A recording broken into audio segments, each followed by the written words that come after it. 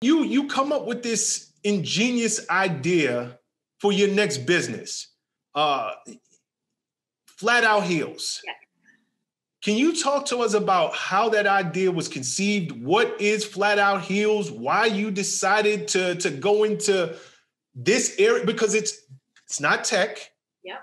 It is it is not consulting. You're now in the product business. How did it come into play? Again, in my life, I'm looking back at my life and see how everything played out. Everything really happened for a reason and it all comes together. So for me having Urban Star doing events, promotions, then I go to have D1 Consulting Group, consulting, um, marketing and digital marketing. It led me to I moved to Atlanta when the recession hit because Columbus was under recession and I was losing clients. They they first thing people do, which is insane, when they start losing money, they cut the marketing budget. That is ridiculous. You need the marketing budget before you need anything else because you need customers. But anyway, Right. they cut the marketing budget, which meant me. And so I'm like, where can I go that's recession proof? What industries are recession proof? We have a couple, but the two I really focused on was sports and entertainment. They're recession proof. People are going to still go out, have drinks, they're going to still do their sports, regardless of what's going on in the economy. We've seen this over and over again. And so I moved to Atlanta because they had these things sports and entertainment, and I could be a consultant down there, which led me to working with athletes and entertainers for five years. And I worked with them on their events. I did celebrity weekends, nonprofit events, marketing, websites, just all kinds of turnkey consulting, which led me to lots of parties, clubs, and you know Atlanta, so the full run. I've seen it all. But most importantly, I've seen women walking around barefoot at the at the table, at the section, popping bottles with their shoes off, you know, walking outside after the club, dirty feet, all these things. And of course, I'm out and my feet hurt. And I thought to myself, we need some kind of a shoe that women can carry with us in our purse or, you know, in our car, glove box, so that we can put them on when our feet hurt in heels. This is before I was like into the conference and business traveling life as a as a professional like I am now. So it's all motivated by like clubs and parties. And you know, I fished the idea around and people were like, yeah, I would love some shoes I could put in my purse. I think it's a great idea. And I'm like, you know, well, how do we get them to women when their feet hurt the most? What is the best distribution channel? I'm always like, that's how I think, like, what can I do to disrupt things? So even though it wasn't tech, I'm always thinking about innovation. What's next? What is a differ- differentiator? Again, with my career before, my tech skills differentiated me in the newsroom. How can I differentiate my products, which are shoes, from everybody else's shoes? I'll make them rollable, foldable, machine washable, and I'll put them in vending machines so that when you're at the club or at the airport or at the concert, you can buy some flats in a machine. Stop That for one second. Mhm. And I'm sorry to interject. Did this idea exist? Did anybody have this on the market at the time? I found a company that had a similar idea in the UK, but I didn't see anything anywhere else. They had like two machines out, and I actually contacted them and said, Listen, I want to do what you're doing. Can you work with me? I'm in the US. I will be a, distributor for you. And they quoted me a price of $5 a pair, and they were retailing for 20. And my business brain kicked in like, their margins aren't the best because if I'm buying them for five, I got to ship them over here. Let's say at two dollars a pair or two dollars, seven dollars. Get them here, put them in the warehouse, pay rent, pay to put them on the site, pay for shipping.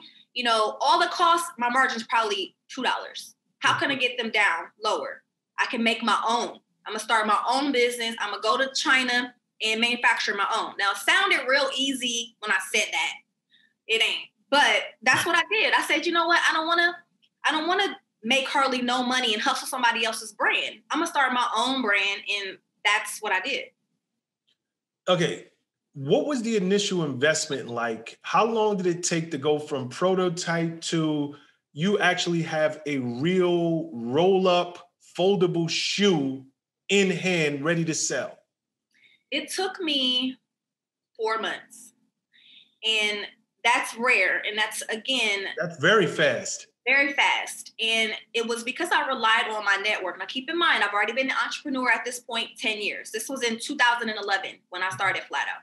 Mhm. So I had a very popular name with people that go out, athletes, entertainers, um, my college peers. They were, they seen what I was doing. They would be at my events, they used my website, so they trusted me. So when I went to them, my athlete clients, entertainer clients, and my peers and said, listen, I want to start another business. I had a business plan written up. They actually invested, and I raised two hundred and fifty thousand from people that I know, black people that I know, black high worth, high net worth individuals. Wow. Okay, stop there for a second. I want to make sure I want to highlight this. You got this idea. You draw up your business plan. You source materials where I can get this manufactured. Do all of your due diligence. I did all of that. You tell me at that point you're able to tap into your network, which again goes to something I preach all the time. There are no experiences that are ever wasted. Yeah. Anything you go through in life, you can best believe at some point it's going to serve a purpose yep. for you. So for you, you're doing promotion, you're doing marketing, you're working with some of these high net worth individuals anyway, just not in this capacity. Right. So when you go to them, was it was it heavy lifting? Was it a, a hard sales pitch? It How did you?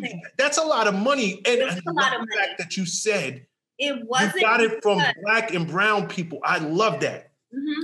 Yes, it wasn't because I had already established credibility with them. I already was a good steward of their money. They were my clients, so they seen me taking their money, using it, like I said, giving them their return, managing money well, managing business. They seen me, so that that was helpful to me. And you know, they it was not hard. I was I didn't, looking back, it's surprising because this is 2011. You know, I'm a black woman and I'm trying to raise money for shoes. But you, they, you, just, they just, just for clarity, just for context, 2011, we were still in the middle of a major recession. This, this is this is 08, 09, 10, 11. Like this is not a period where you would think most people would part with their money easily. But go ahead. But again, we talk about recession proof. If you're an athlete, you're still getting your check, don't matter. If you're an entertainer, you're still getting your check, don't matter. So I knew I had to get into those networks. Again, that was, I feel like it was a blessing. It was source. It was that inner voice saying, Dawn, go down here, do events and promotions down here.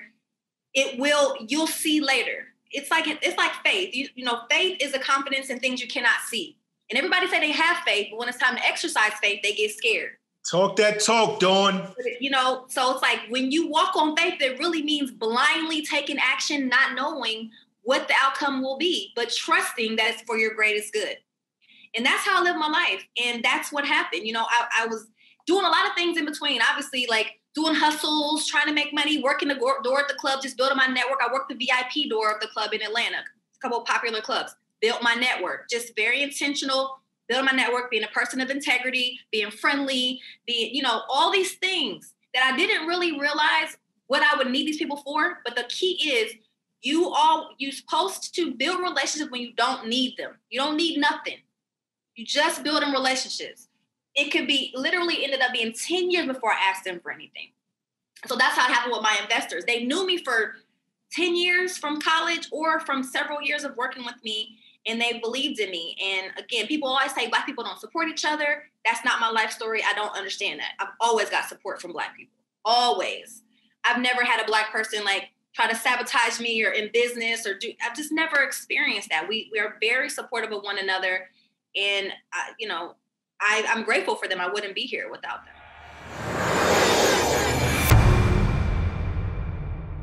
What's up, guys? Thanks for sticking with me to the end of the video. Truly appreciate you. If you like anything you heard here today, go ahead and hit that subscribe button. And if you know anybody that can benefit from this message, feel free to share. Peace and love.